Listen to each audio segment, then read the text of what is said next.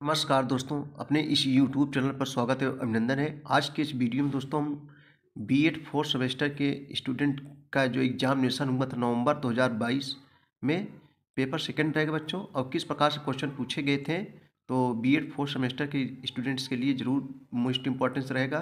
ये परीक्षाएँ दो, दोस्तों जो है नवंबर दो हज़ार बाईस में हुई थी। किस प्रकार क्वेश्चन पूछे गए थे आइए देखते हैं। पेपर सेकेंड रहेगा और सब्जेक्ट रहेगा जो जेंडर इश्यूज़ एंड जो है human rights in education in education.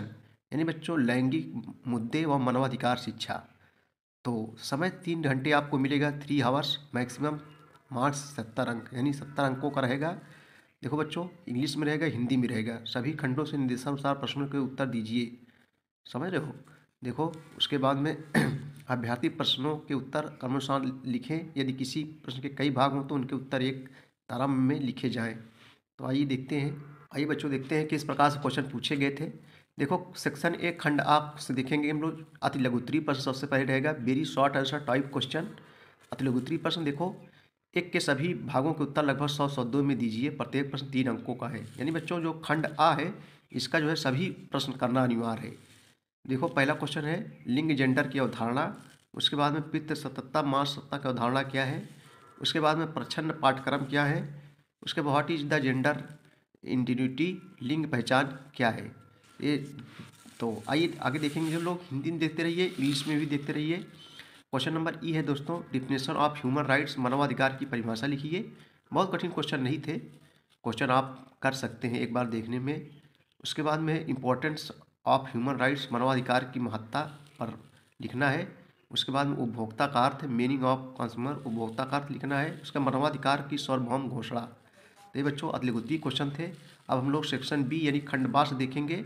Short answer type question जो लघुत्री प्रकार के प्रश्न पूछे गए थे। लघुत्री प्रकार के प्रश्न में दो करना है दोस्तों। आइए देखते हैं।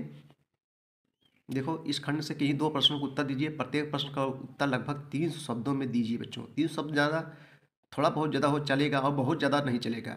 तो प्रत्येक प्रश्न जो है सात अंकों का है। देखो, इंग्लिश में भी है और हिंदी में भी है। तो rules of school of reinforcing gender equality लिंगी समानता को स्थापित करने में विद्यालय की जो है भूमिका लिखना है इसको। पाठचर्या के विभिन्न पक्षों में निहित लिंगी मुद्दे की व्याख्या कीजिए।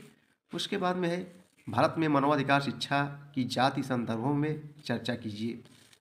अगला क्वेश्चन है, क्वेश्चन नंबर फाइव है, मानवाधिकार शिक्षा को स्थापित करने में गैर सरकारी संगठनों के योगदान का उल्लेख कीजिए। देखो, इंग्लिश में भी है, हिंदी में भी है। आगे देखते हैं हम लोग। देखो जो लॉन्ग आंसर रहेगा सेक्शन सी खंड सा लॉन्ग आंसर टाइप क्वेश्चन यानी दीर्घ उत्तरी प्रश्न रहेगा इंग्लिश में भी हिंदी में। देखो दो क्वेश्चन इसमें भी करना है, दीर्घ उत्तरी प्रश्न। इस खंड से किन्हीं दो प्रश्नों का उत्तर दीजिए। प्रत्येक प्रश्न का उत्तर लगभग छः में दीजिए। किसने शब्दों बच्चों? छः सौ में। और प्रत्येक प्रश्न जो है सोलह अंकों का है। देखो, भारत में किसी आयोग की प्रमुख नीतिगत समितियों की सब विस्तार से चर्चा कीजिए। लिंगी पहचान की साम्यवादी तथा संरचनावादी सिद्धांत की प्रमुख बातें तथा शैक्षिक निराहत की व्याख्या कीजिए। आठवां है बच्चों, देखो इंग्लिश में भी, हिंदी, भारत में मानवाधिकार संबंधी विभिन्न संवैधानिक प्रावधानों पर चर्चा कीजिए। उसके बाद नौवा है, भारत में मानवाधिकारों से संबंधित कुछ प्रमुख न्यायालयों के निर्णय की चर्चा कीजिए। तो ये प्रकार से क्वेश्चन पूछे गए थे।